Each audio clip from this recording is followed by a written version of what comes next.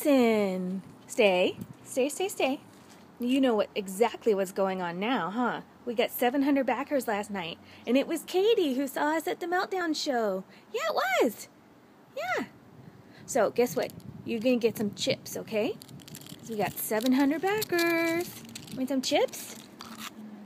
They are black bean and quinoa.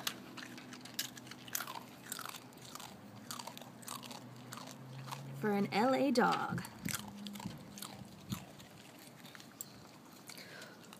Watson was discovered right in that backyard over there.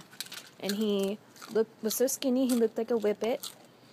And he was covered in horrible wounds and he was starving and really scared. And I caught him with a can of wet cat food.